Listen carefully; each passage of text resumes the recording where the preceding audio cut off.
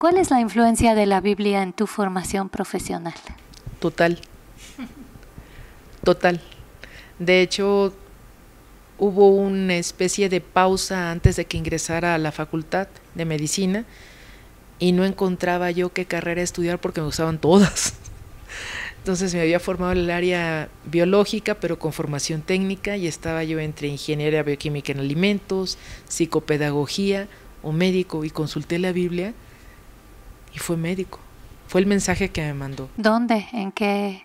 Cuando uno empieza a llevar a efecto el estudio, señala que las personas que tengan la capacidad de hablar o transmitir, que las personas que tengan la capacidad de curar, de sanar. Entonces, desde ese momento yo encontré que esa era, esa era la, la fuerza que me estaba transmitiendo para poder seguirlo. Y le quiero ser muy sincera, cuando le entrega Dios las tablas a Moisés en los diez mandamientos, enmarca la conducta idónea de cualquier persona que quiera sobrevivir de manera armoniosa en este planeta. Entonces, a mí me ha marcado mucho ello y me ha marcado mucho también las cartas de Pablo, me han marcado mucho también el libro de Eclesiastes, Proverbios y los Salmos. Los Salmos todos los días por lo menos escucho por lo menos siete salmos. Me encanta la forma en la que el rey David alababa a nuestro Señor, la forma en que el rey David le hablaba y recibía la capacidad, la fuerza y sobre todo el coraje para sacar adelante. Me gusta mucho cuando Dios, por ejemplo, menciona a Moisés, yo estaré contigo. Y aunque Moisés es una persona tartamuda, o sea, y le dice, pero ¿por qué yo? Cuestiona, Dios le dice, yo estaré contigo. O sea, Dios siempre ha estado con nosotros y al principio nos hablaba de cara a cara, después nos habló a través de los profetas. En mi religión nos habla a través de Jesús y hoy nos habla a través de la Biblia. E independientemente de la creencia que uno tenga, Dios siempre busca estar con nosotros y no nos crea para que lo amemos, nos crea para amarnos. Entonces, que uno sepa que un ser total, que es principio y fin de todo, te cree para amarte y te cree y te ame como eres, que no necesitas quitarte ni ponerte nada para que Él te diga, yo soy tu Padre y yo estaré contigo. Entonces, es maravilloso. Y saber que ese Dios que está conmigo, pues también está contigo, con Él, con ella, con todos. Entonces, eso es lo que me mueve. Y eso lo recibo a mis padres, porque ellos nos decían que Dios estaba en la cara del otro o de la otra, y que nosotros no podíamos saber si esa persona que pide dinero en la calle era Dios disfrazado. Entonces, ¿cómo tratar mal a alguien si ese alguien lleva a Dios? Y aceptar su voluntad, porque los planes que Él tiene para nosotros son perfectos, pero a veces nos creemos un poquito más que Él y queremos cuestionar esos planes, o dudamos, o no luchamos nos dejamos llevar. Entonces todo eso se encuentra aquí. Y si alguien quiere ver un manual cómo vivir, que lea Proverbios. ¿Cuál es tu salmo favorito? El 27. El 27. El, el Señor es mi luz y mi salvación. El Señor es la defensa de mi vida. El Señor es mi luz y mi salvación. ¿A quién temeré? ¿Quién me hará temblar? Y del momento que me comenta usted que se vivió por una situación, justo antes de entrar, yo estaba escuchando ese salmo y lo estaba meditando. Siempre me gusta mucho y también cuando en la batalla, en la primera batalla, que San Miguel Arcángel dice, ¿quién como Dios? ¿Quién como Dios? ¿Quién como Dios? Entonces, cuando alguien me pregunta, oye, ¿cómo le haces para aguantar? Oye, ¿cómo es? Pues si Dios está conmigo, ¿a quién temeré? A nadie. Eh, tienes un doctorado en ciencias de la conducta humana. Ah, sí, en filosofía. ¿Cómo te ha llevado eso a, un conocimiento de los factores que llevan a la delincuencia? Es esencial. Mire usted, cada uno y cada uno de nosotros está conformado tripartitamente.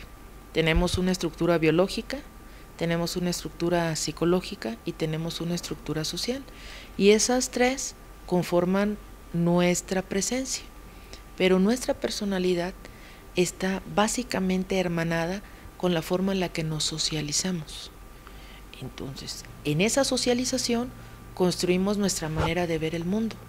lo que se considera la percepción. Entonces todos podemos estar viendo un mismo panorama, pero cada quien va a ver lo que su propia realidad le ha enseñado, es decir, lo que tiene grabado. Y si en la casa usted le enseña a ver en el otro bondad, usted va a ver bondad. Si le enseñan a ver en el otro una oportunidad, lo va a ver como oportunidad. Pero si le enseñan que la otra persona que está frente es alguien que lo va a dañar, es alguien que lo va a atacar, o es alguien a quien merece ser atacado porque le ha robado algo, entonces su percepción y su conciencia de la realidad es que atacar, robar, matar, lesionar es lo normal. Entonces, no es una realidad acorde a la moral social, es una realidad acorde a la moral con la que fue formada la persona, que puede o no puede estar en familia, porque hay delincuentes que tienen familia y un nivel económico altísimo, e incluso un nivel académico alto, pero su percepción se distorsionó, y al distorsionarse la percepción, lo que nosotros en la normalidad vemos como adecuado, él lo ve como inadecuado. Y que lo que nosotros vemos como inadecuado, él lo ve como aceptable. Entonces robarle a alguien, pues en su percepción es justo, porque él tiene lo que yo no tengo y yo también merezco tenerlo, entonces lo roba. O lesionar a alguien, no le preocupa, porque él o ella no logran reconocer el gran valor que tienen. Cuando alguien no reconoce el valor que tiene, cuando alguien no se siente digno de amor, de valor, de dignidad, no puede ver en los demás ni valor, ni dignidad, ni amor. Los ve como cosas, como objetos, como objetos a través de los cuales puedo atraer algo. Por ello es que creo en la reinserción social. ¿Pero qué le pasó entonces a México para que hubiera tanta delincuencia? Yo creo que nos estamos enfocando más en lo que no debe ser que en lo que es. Porque si nosotros viéramos todas las bondades que hay alrededor de este país, si viéramos toda la gente positiva que está trabajando, todos los jóvenes que han logrado reconocimientos internacionales, los productos de investigaciones, la fuerza en la que se levanta nuestro país y objetivizáramos más la bondad que la ausencia de bondad, porque desde el punto de vista de filosofía hay bondad y ausencia de bondad. Al mal se le llama ausencia de bondad. Pero si nos objetivizamos más en la bondad y nos preocupamos más por empoderarnos desde el punto de vista del reconocimiento del valor que tenemos por ser humano, entonces tendríamos una visión diferente de lo que es el entorno. La percepción distorsionada es lo que ha condicionado que se incremente el factor de inseguridad y obviamente la delincuencia. Entonces, ¿a qué se debe de apostar? ¿A qué se debe de apostar? Pues básicamente a trabajar de una manera multidimensional, en donde no nada más sea la estrategia y la táctica, sino también la prevención y el empoderamiento de las personas. No para llevar a efecto situaciones que aterricen en autodefensas, no, sino para llevar a efecto esquemas que procuren la propia certeza de su existencia y de su núcleo cercano. Pongo un ejemplo bien fácil de entender, ciberseguridad. ¿sí? Todos utilizan sus dispositivos electrónicos móviles y todos utilizan sus ordenadores a los niños y a las niñas y a las y a los adolescentes, si están en una recámara con una computadora, están seguros. No es así. no, es, así. No necesariamente es así. Hay esquemas que tienen que compartirse para que la persona tome conciencia, tome conocimiento y se empodere.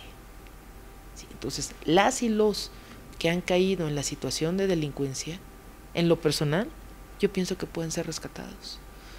Apoyándolos a que cambien su visión. Porque son valiosos. Son valiosos y son importantes para la humanidad. Y en la medida que ellos se concienticen que son importantes para la humanidad y que ese talento que emplean para situaciones que denostan lo pueden emplear para situaciones que enriquezcan no tan solo a su país, sino al mundo entero, ellos mismos van a reconocer esa capacidad. Trabajé muchísimos años en procesos de reinserción en algunos eferesos y en algunos cerezos, y sí se lograban conceptualizar esquemas a través de los cuales él o ella se daba cuenta que su percepción no era la adecuada. No es un trabajo de un día para otro, es un trabajo de muchos años. Pero desde mi perspectiva, la percepción distorsionada de la realidad es lo que condiciona el factor de delincuencia.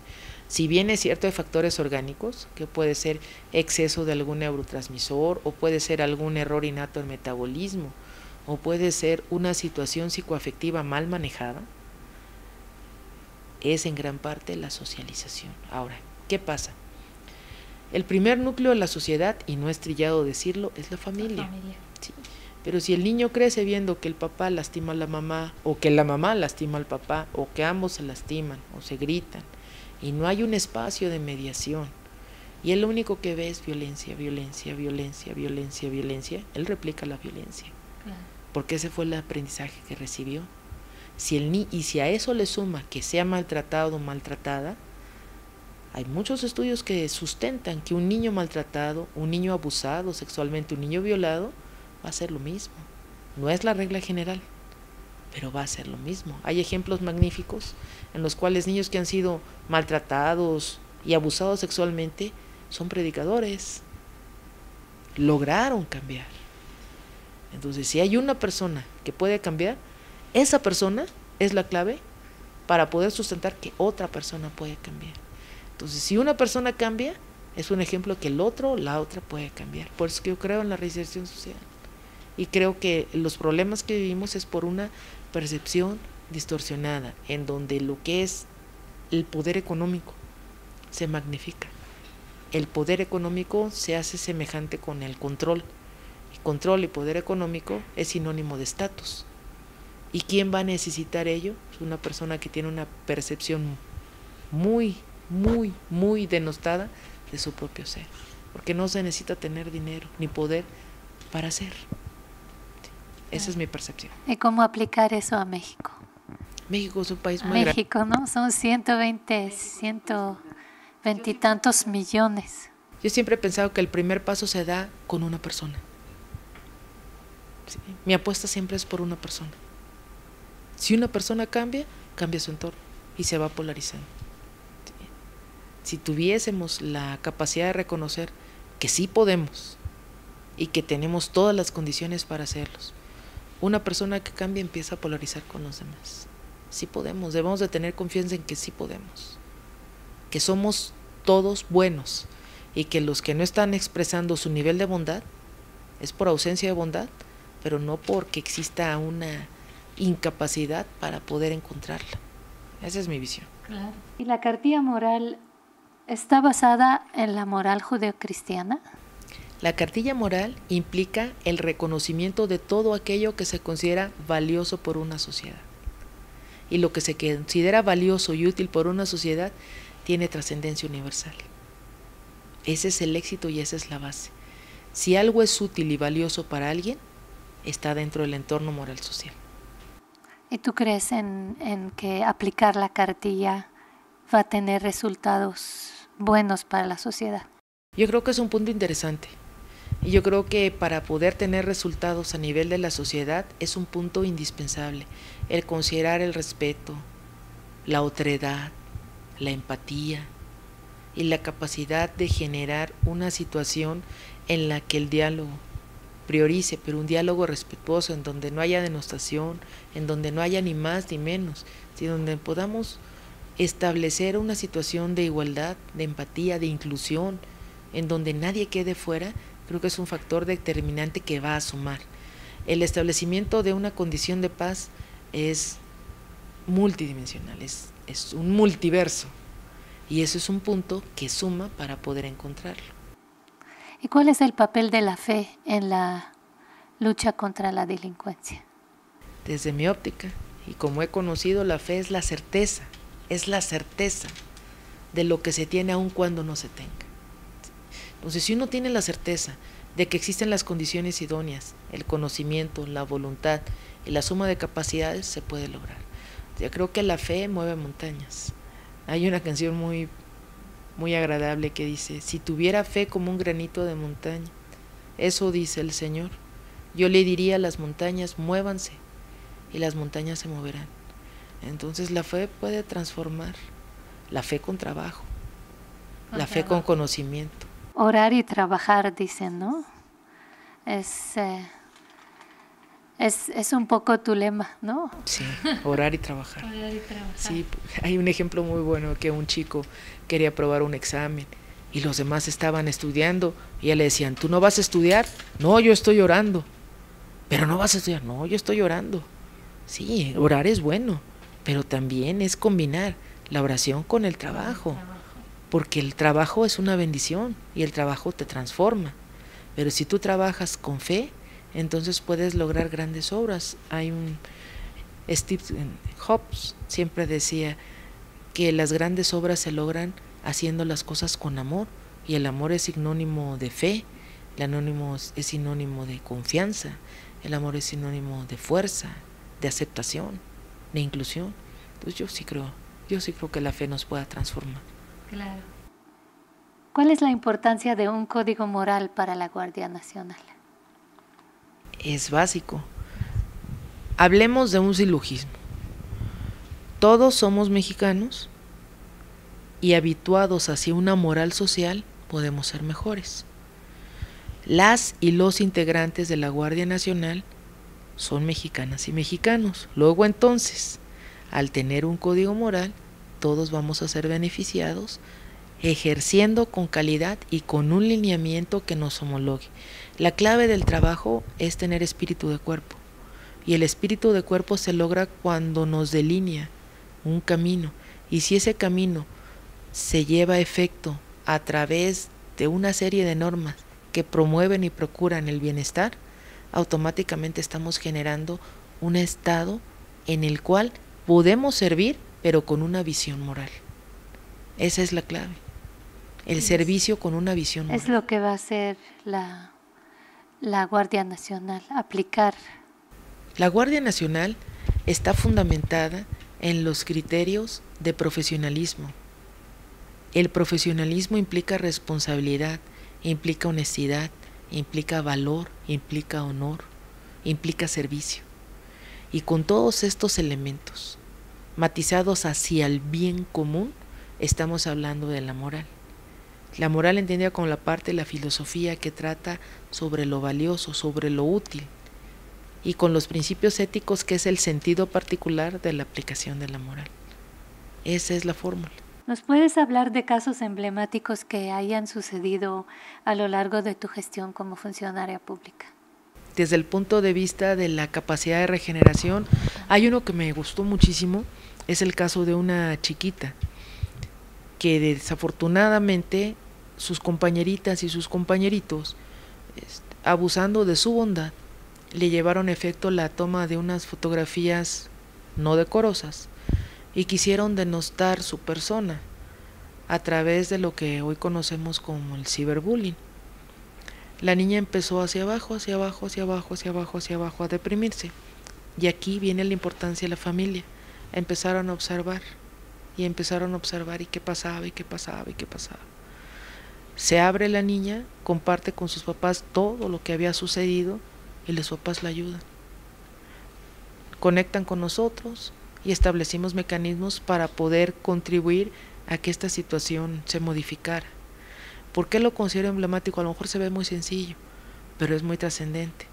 Porque una niña con una familia integrada, aún siendo atacada, pudo lograr trascender a este momento. Otro de los casos más fuertes que hemos vivido es la generación de trabajos para llevar a efecto la identificación de personas no localizadas a través de restos.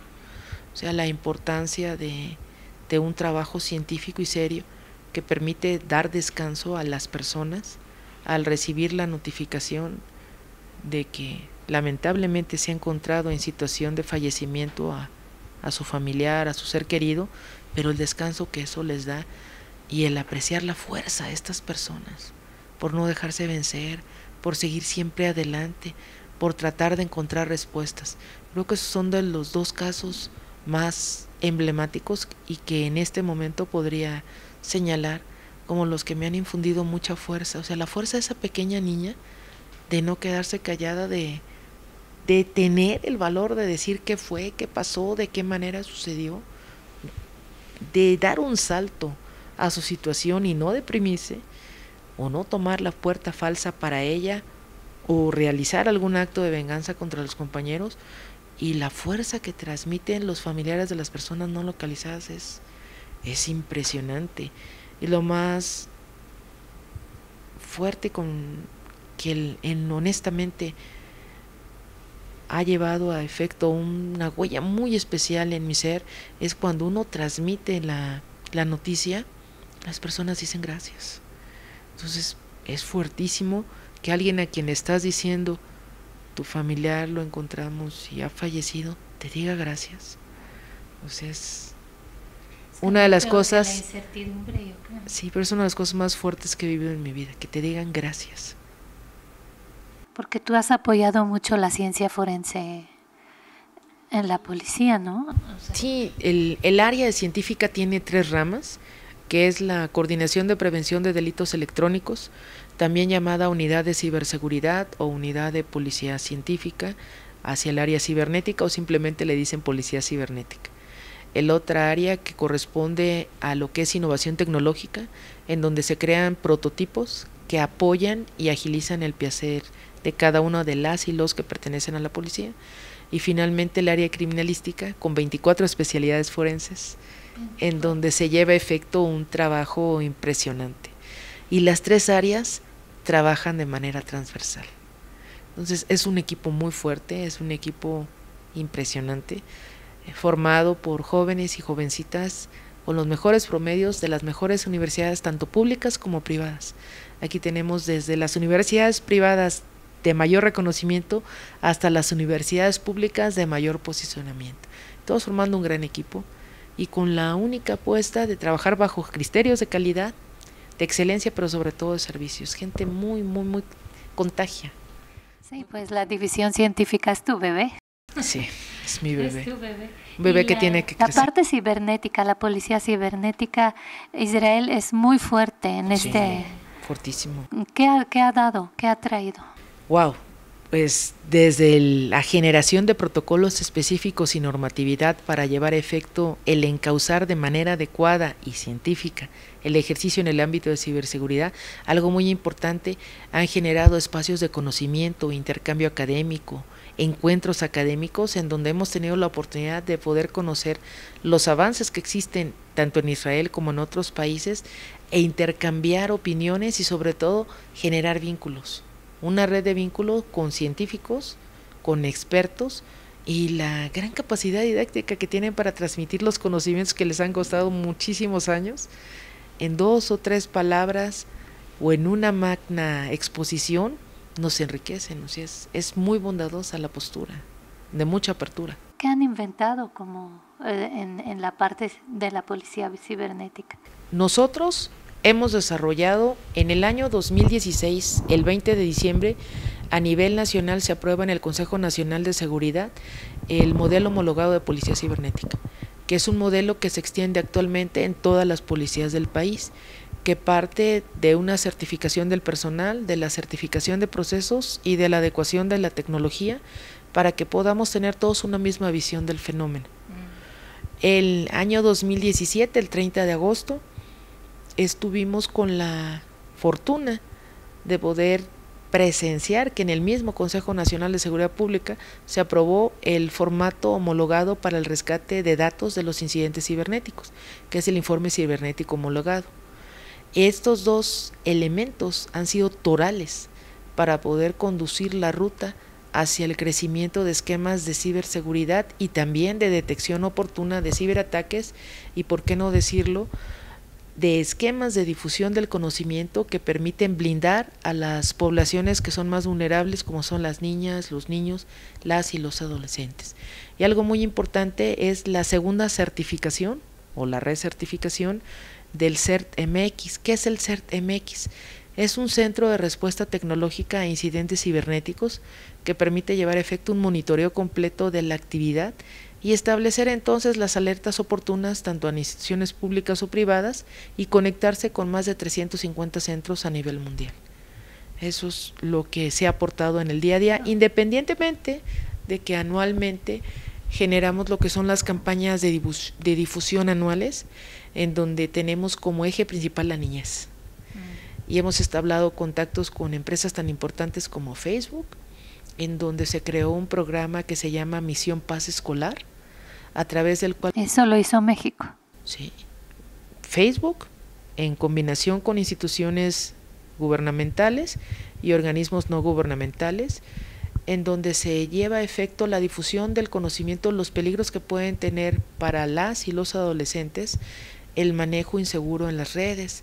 A través de realidad virtual, ellos pueden tomar decisión hacia esquemas de ciberbullying o no ciberbullying, de violencia o no violencia. Es fantástico porque el, gran potencial de Facebook está al servicio de la prevención y todo esto en un esquema en el que participó la Secretaría de Educación Pública, el director ejecutivo del programa Plaza Sésamo y obviamente Policía Federal y organismos no gubernamentales que han estado apoyando de manera impresionante. Pues qué interesante. ¿Y los israelíes qué han inventado? Uh, que no han inventado.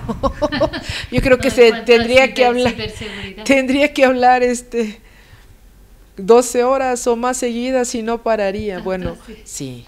Sí tienen esquemas muy robustos tienen esquemas que permiten establecer con certeza directa de qué manera se está moviendo el ciberespacio, cuáles son los criterios para la prevención, programas específicos, ¿no? Podría hablar este 12 horas, reitero, y no termino. Es muy grande el trabajo que ha realizado Israel y aquí regreso a lo que comenté hace algunos momentos. Cuando uno llega a Israel y ve el potencial que tiene, dices, esto es increíble. Una cuestión es ver los folletos, los catálogos, las empresas, llevar efecto la revisión en alguna expo, pero estar allí y ver el potencial, dices, no puede ser, eso, es increíble. Es, es, es muy fuerte el Estado de Israel. ¿Qué fue lo que más te impactó en esta expo? Los softwares a través de los cuales se llevan efecto reconocimientos, es, es, impresionante. Y sobre todo la metodología, reconocimientos faciales, este, ubicaciones, pero lo que más me gusta es la sistematicidad y que no se quedan. O sea, tienen algo y no se quedan porque saben perfectamente bien que el cibermundo es dinámico. Ah. Y que en el momento en que estamos hablando, o sea, en un minuto, por poner un ejemplo, de 4.5 millones de contactos en YouTube. Y esos contactos pueden implicar riesgo. Por poner un ejemplo. Entonces, no se quedan. Siempre buscan más, más, más.